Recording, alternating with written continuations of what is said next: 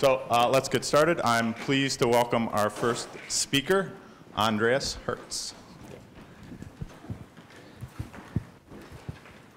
Yeah, it's a great pleasure to be here, uh, to be remembered to be part of the family. Uh, John was speaking, Carlos was speaking, David is inviting. And there are many memories for me from the times I was at Caltech from 90 to 93 uh, heavily overlapping with David. Many memories from back then. But I think part of the family also means that there are all the memories from other periods following. Uh, I remember uh, David and Carlos and Mary and John coming to my wedding. Uh, and I also remember a couple years later, David visiting me in Berlin. And uh, my two older kids, uh, at that time, the two only kids were five and three at that time. And they just loved it to have a horse in the flat for about two hours. David, you know, I said, stop it, stop it, it's good enough. But he continued. They were riding one on him, both on him. They were struggling, you know, who was to get the pleasure to be close to David, as many of us are. And I will never, ever forget this scenery. I don't have pictures for that you can imagine two little girls and a strong horse. All right. Uh, so I want to talk about some work uh, I've been doing recently with uh, Martin Stemmler, who in fact also came from the Caltech uh, Computational Neuroscience program, and Alexander Mathis, who was a PhD student in my group and is now at Harvard. And this will in some way connect to some things you've heard from John already, uh, it also deals with rats and mice, so it connects to Carlos's uh, topics. And at some point, I should say, it would be nice if it would also connect more to David, and you'll see where that could be, and maybe there is some stuff. He had only talked about two projects he wanted to do in the next month, so maybe there is space for some more. All right, so um, if you think about how space is encoded uh, in the mammalian brain. Uh, if you ask this question some 10 years ago, 15 years ago, people would say, well, it's in the hippocampus. And John already alluded to place cells, so neurons that are active if the animal and its path is shown in black, moving around uh, here a one by one meter box. And a particular uh, place cell will be active when the animal is in a particular region of that space. And there's not only one place cells, but many of them, and together they call or they form um, a place map or a cognitive map. These neurons allow events to be attached to certain locations in space. And that's the story as it was some 10, 12 years ago, until the Mosers came along and found yet another class of neurons that are spatially modulated. But there, one neuron does not have a single firing field, but multiple ones that are arranged as a beautiful hexagon. And so the issue is, why are there two such systems in the brain, in fact, heavily connected with each other, and how is space encoded? And to address this question, let me show you some of the salient grid cell features. Um, if you record with a tetrode, and Carlos alluded to what tetrodes are, you get an extracellular signal from neurons nearby. If you record with such a tetrode in entorhinal cortex, that's where the grid cells are. And in this situation, you have three cells uh, whose firings are marked by blue, red, and green. And if you mark the centers of these firing fields, that's shown here, you get uh, a pattern that becomes very simple to understand and easy if you shift the firing fields relative to each other.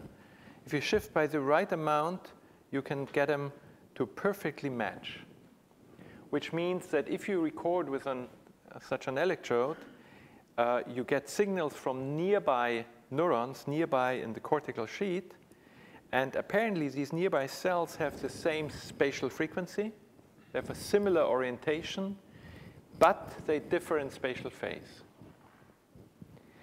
Now, if you record over larger distances in the entorhinal cortex, you'll see that the wavelength, the spatial frequency, that it increases, as you can see from here to here, depending on where you record in the entorhinal cortex. So it seems that there is a way to represent space. And in fact, the Nobel Prize in 2014 was given both to O'Keefe, who had found the place cells, and to the Mosers, uh, to Edward and May-Britt Moser, for their discovery of the grid cells. And the prize was given for the Mosers because it was argued that this constitutes a metric for space. And I want to show you how the argument goes.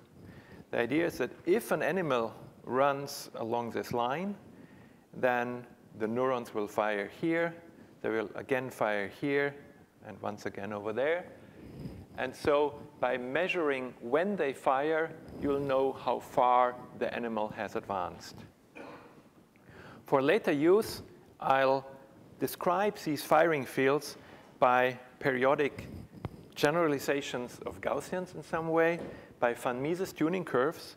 And these are just cosine waves uh, in the exponent uh, of an exponential function. This is the way how we will characterize these tuning curves. And in fact, that's a pretty good characterization of the specifics of these tuning curves. So it makes sense to use this parametrization. Now, can this really be a metric for space? Nobody can force the animal to run on a straight line, uh, let alone a straight line in a particular direction.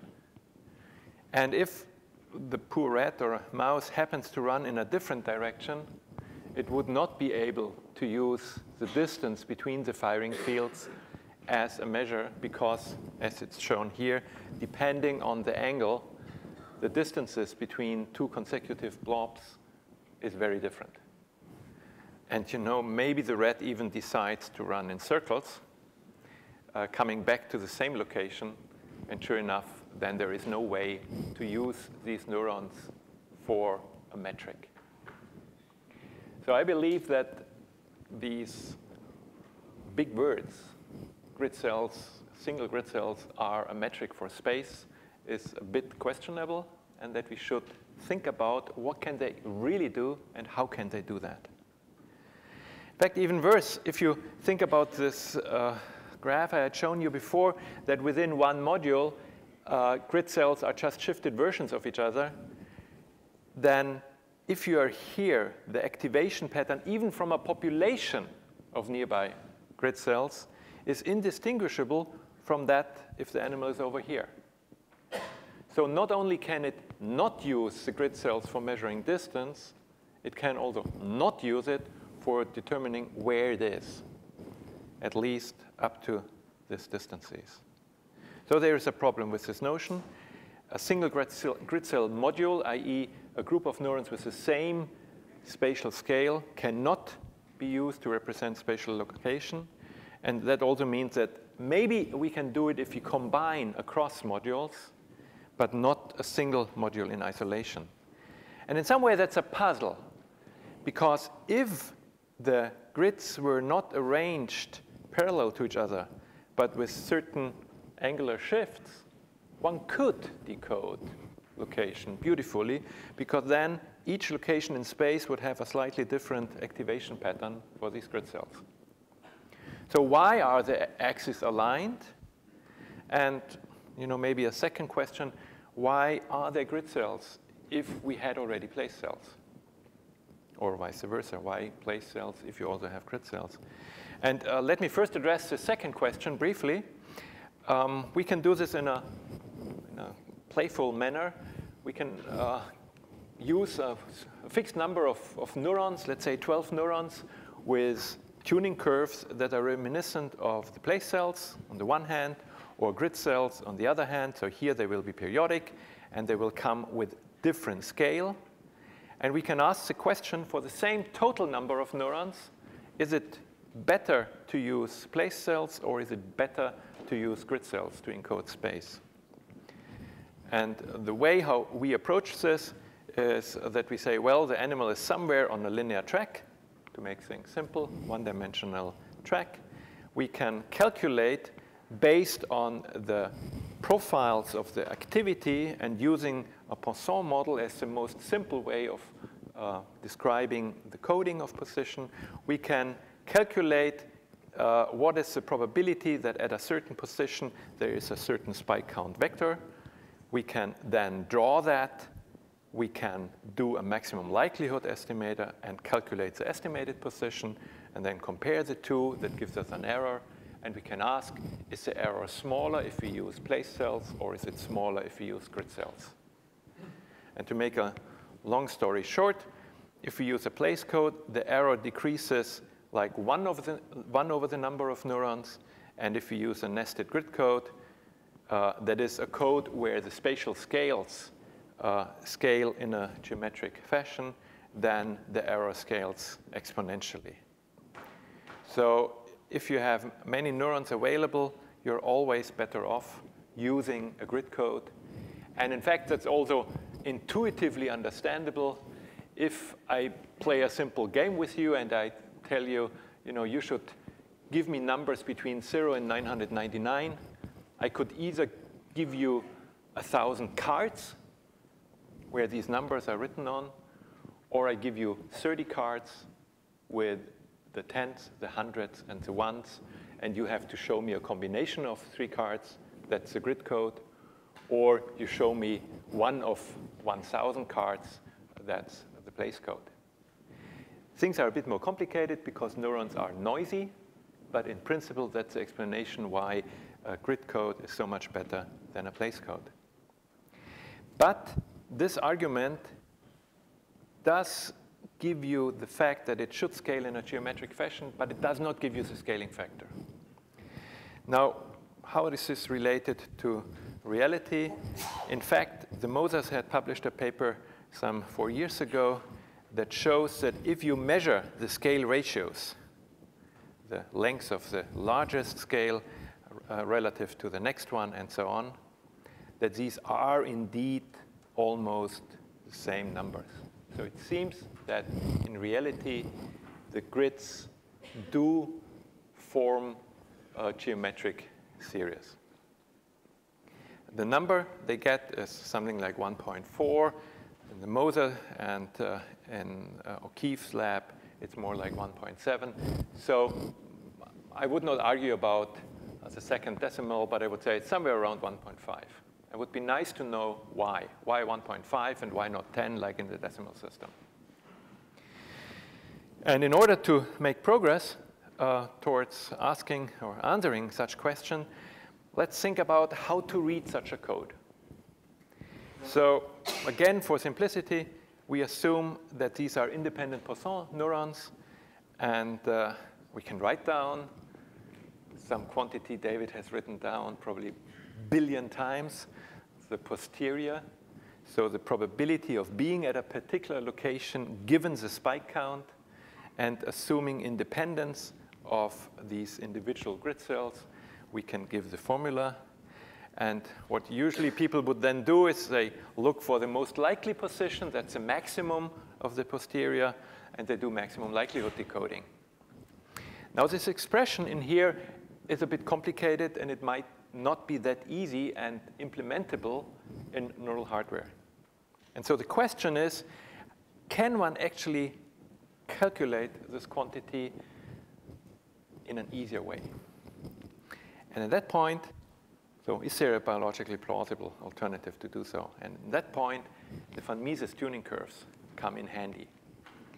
And I looked at David's book the other night, and yes, von Mises tuning curves are mentioned as periodic uh, generalization of Gaussians, but it's only a few lines there. And I think in the next edition, you should put a few more lines there. because, so if we focus on a one-dimensional situation and only on the largest grid scales, and uh, so that's the posterior, and if you remember a little bit of high school math, and I you know, just flash it, um, that's the defining property of an exponential function. And uh, you, you, learned it for sure at high school, and maybe David or Sanjoy or somebody else made you work out this problem. uh, that if you uh, add two cosine waves or sine waves, and it's important that they have the same wavelengths, but otherwise, you know, the scaling both with the size, the amplitude, and also the phase is arbitrary. If you add two of those, you again get a cosine wave. And if you put these two formulas together, you'll notice that uh, the exponent of a cosine times the exponential function of a second cosine with the same wavelengths give you again an exponential of a cosine. So if you insert this into this formula, you'll realize that the posterior is also von Mises. And that's a beautiful property. It makes life very easy. And here I think that, you know, David, there should be a three-liner in the book because it's just so beautiful. Um, in addition, if you think about that, you, you would like to know the maximum. You want to do maximum likelihood decoding. And the maximum of that can, in fact, be calculated from a population vector decoding. So what I've shown here are the tuning curves of, I think, 20 such neurons. And uh, in a particular situation, let's say the animal is located here, uh, the neurons along this line fire this one three spikes, that one one, these two two, and again one. Uh, and if we now arrange these spike counts uh, around a, uh, a, circle and look for the population vector, this would give us this maximum, and we know that it is von Mises, and we can calculate the width, so we know that the posterior is like that. And I think we know it, but as this construction shows, a neural network could also know it. So it's a very simple way of calculating the posterior for such types of tuning curves. And in fact, this idea that multiple neurons encode different positions maximally, and then you do a population vector decoding, is not new. It has been used, for example, in the cricket wind-sensitive system to explain how this creature knows from which direction wind is approaching by superimposing the activity, in this case, of four neurons. Or by Georgopoulos in the motor system, where the direction of an arm movement can be predicted with high precision from measuring activity of uh, neurons that are, again, sensitive to certain directions. What's new now is that the stimulus space is not periodic anymore, but it's linear uh, that there are multiple scales in the grid system and that we are working in a two-dimensional stimulus space. But otherwise, the concept is very similar. So what that tells us is that we can combine, in fact, these different modules and adding each additional one allows us to get a better and better estimate for the true position. So this would then be the interpretation of the grid code, namely that on the largest scale, you have neurons that give you a rough estimate of where you are. And then with the shorter spatial scales, you get better and better to determine where you actually are. That's a framework. What are the predictions that come out of that? The first one is that grids should be aligned within a module. Remember when I showed you the mass, I needed that uh, the wavelengths of the different cosine waves are identical. In 2D, that means that the grids should not be rotated with respect to each other, but that they should be aligned, because then you have the same wavelengths in each of those. And so we can calculate this, uh, you know, what kind of deviation is tolerable, and uh, within a module, it should be perfectly aligned. And across modules, uh, the mass does not really demand that they are exactly aligned, but we can do this numerical analysis and see that it's best to align them. And if we look at the experimental results, that seems to be true. What's shown here is grid orientation, grid spacing. These are data from one red, from a second red, and from a third red. So this is my favorite red, uh, where within each module, you know, it's really beautifully aligned. All these dots corresponding to one neuron each are exactly lined up, and they are even lined up from module to module. Here it's a bit more blurry, but after all, that's biology. And as my PhD supervisor, Leo van Hemmen, once told me, you know, theory should never, ever fit all facts because then you overdo it. I don't know whether I fully agree, but I think it's a strong indication that indeed uh, the, the grids are aligned as would be predicted by this theory. What about the scale ratio? I mentioned that it's somewhere around 1.5. Why? And here, the argument is, in fact, quite simple. If you have a single module, the log of the posterior is a cosine.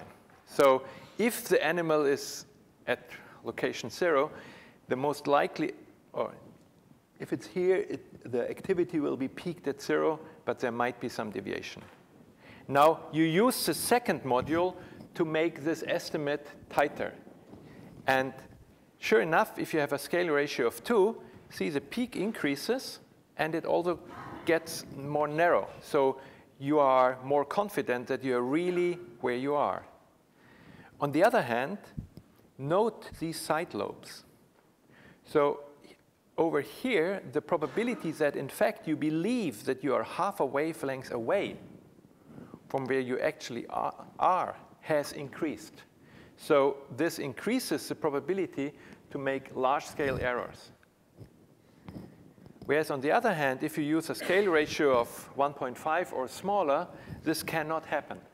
Because here you are at the bottom of the next wave, so your, the probability to make this false guess does not increase. So it seems like a safe guess to do that and not shoot for a much better or much higher scale ratio. And 3 divided by 2 is not that far off from 1.4 or 1.7, so we were confident that maybe we captured an essence of the system here.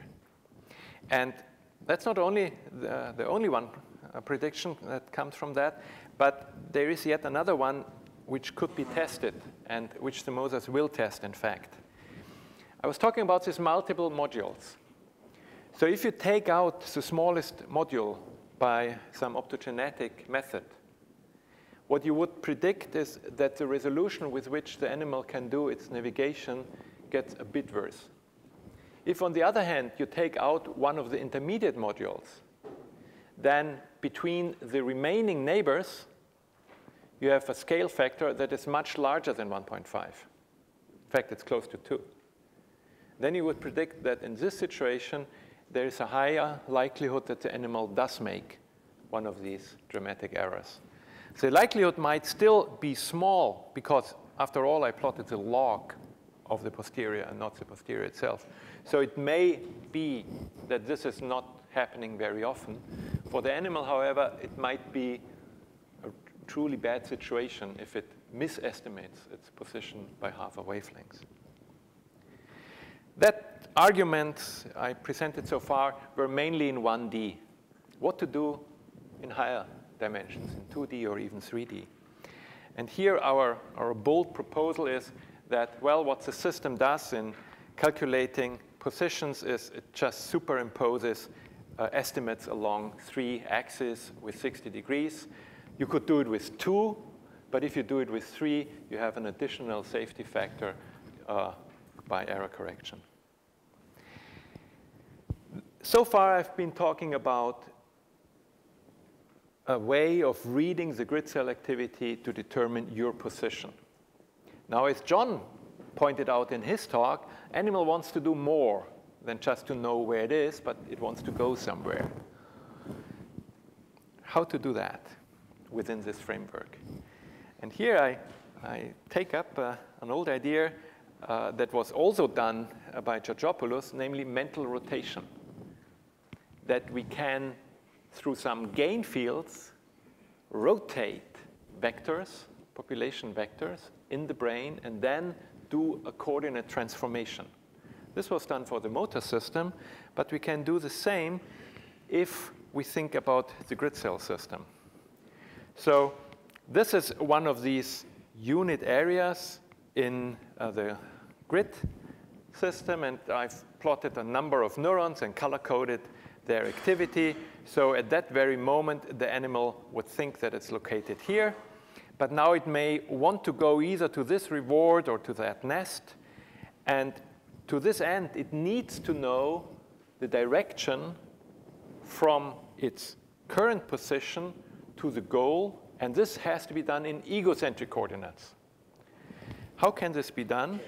Well, if we multiply this grid representation by sine wave gratings, whose phase represent the goal position, then we can make a variable transformation from allocentric position to egocentric goal.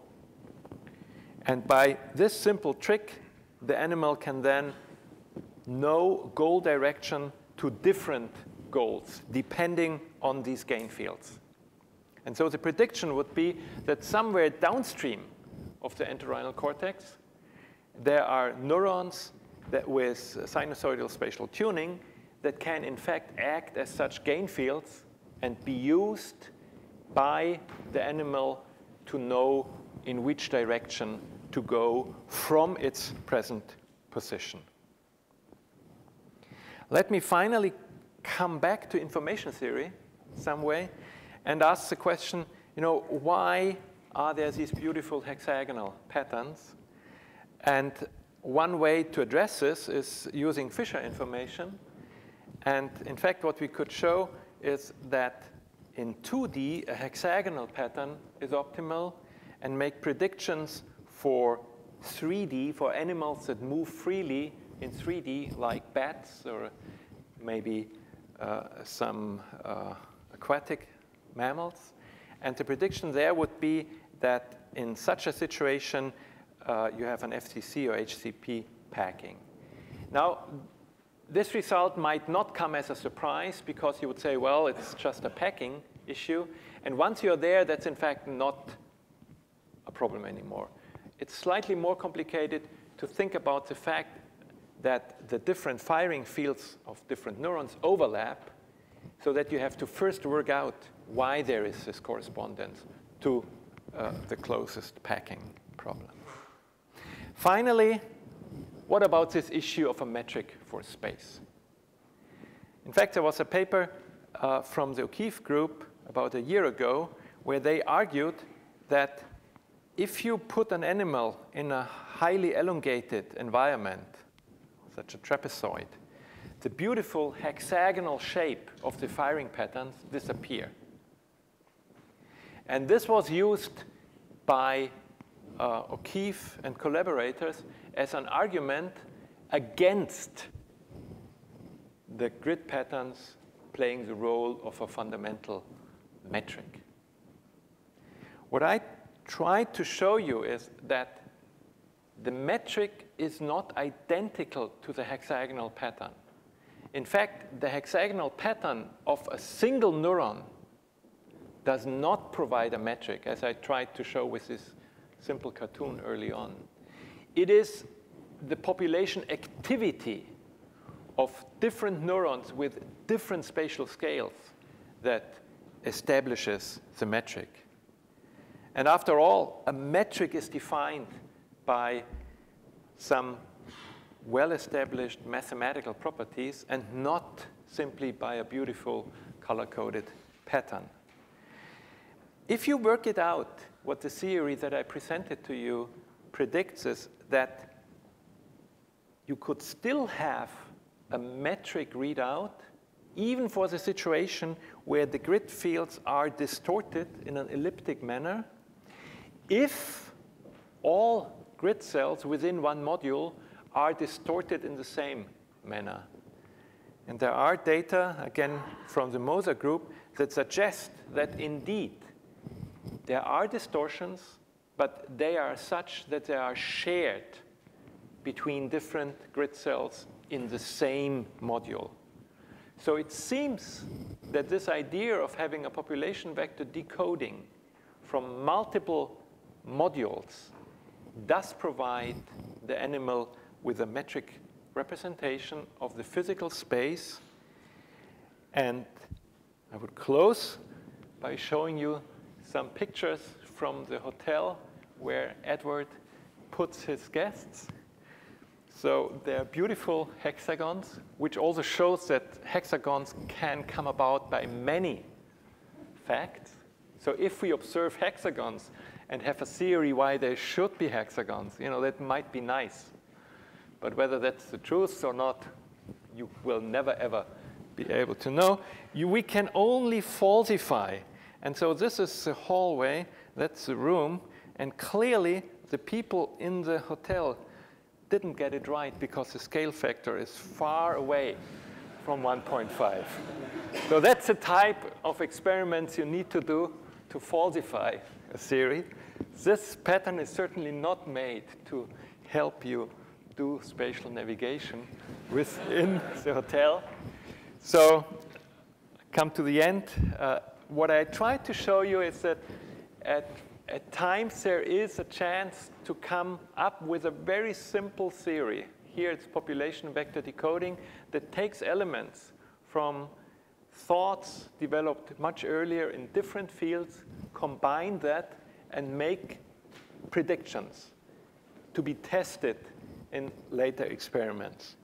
There are many issues that are not settled within this framework, many issues that would require somebody with a deep mind. And therefore, I'm, if I may say so, still optimistic that maybe you know, David and I can think about some of those and I can profit for your expertise because after all, you know, this is coding, this is decoding, this is Bayes in a very simple manner. So probably it's too easy for you. but nevertheless, maybe you give me some advice as you have done over all these 25 plus years we know each other. Thank you so much.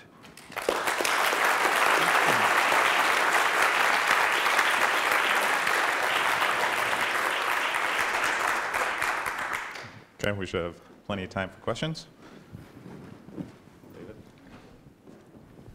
I've got uh, two connected questions. Um, my recollection is that the simple hippocampal place cells, many of them have the property that the phase of the spikes made by the cell relative to a clock rhythm in, in the brain uh, depends on location within the receptive field. So you can get extra fine resolution information from the mm.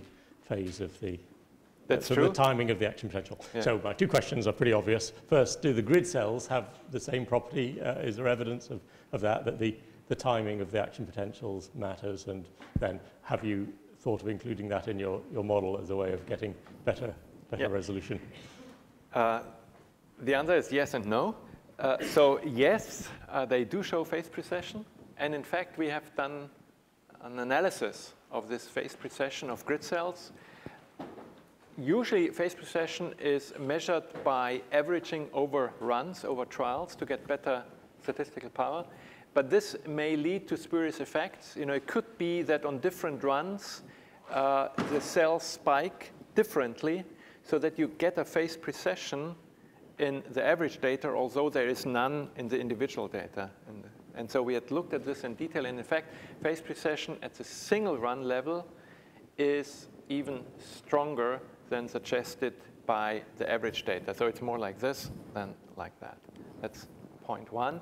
Point two, no, so far we have, I would say, not yet uh, incorporated it, but uh, this might be a problem that uh, is of such a complexity uh, that it extends my capabilities, but might be suitable to trigger some thoughts on your side. No, we tried to stay simple here, uh, and first to have a, a model that is you know, as simple as it gets, but still has this predictive power. But yes, one should obviously uh, try to do that.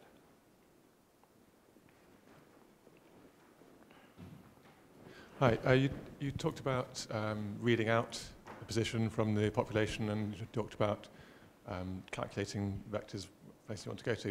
Have you got any ideas about how what is actually generating this activity or how the animal would update it as it moves, update its position yeah. as it moves? So the idea is that there's input to the grid cell system from various sensory cues and also from self-motion cues. And so that it can do what they call dead reckoning. Yeah? Um, the experiments I believe have, with respect to grid cells, still need to show that by doing the experimental tests in complete darkness, remove olfactory cues. And people are working on that, but it's very, very difficult because you have to clean uh, the platform all the time. And so I think it's still an open issue whether it's really a self-motion integrating system that we see, whose results we see in the activity of the grid cells. But it's a crucial point to be explored for sure. Now, how does this come about? How is this activation pattern? Um, that in fact connects back to John's earlier work on attractor neural networks. And the current idea is that the grid cells form a continuous attractor network, i.e., one where this hexagonal pattern you saw on the single neuron level is shared, or if you plot the activity in a neural sheet, not in physical space, but in, in an abstract neural space, and if you have inhibitory couplings of the type Carlos was telling you about, that are arranged in a Mexican hat-like fashion, that this would allow for the creation of hexagonal patterns that then get the input from these readers the speed or visual input that shifts this activity pattern, blob, many blobs, that shifts this activity pattern around such that you, if you record from a single neuron, you would get these grid cell activity pattern. So they, that's what they call continuous attractor neural networks. Uh, Yoram Burak and Ila Fiete have worked on this extensively. What I do not see yet is a nice, simple theory that would predict exactly these properties in the same way I think what we still miss is the Hopfield 84 paper. Uh, there are simulations, and it's tricky to move this activation pattern because what you want to have is that the activation pattern moves in exactly the same speed and direction as the animal moves with respect to the outer world because otherwise very quickly it would uh, you know, fade out and you would not see the nice activity blobs anymore. This has been done in simulations quite successfully. If you do the simulation, you have to fine-tune parameters. And what's missing is somebody who does the emergent calculation, if I may put it that way, from single neuron activity to emergent large-scale variables that actually move in exactly the same way as the system would require it to do. So there is something to be done for other people. Let's thank Andreas again.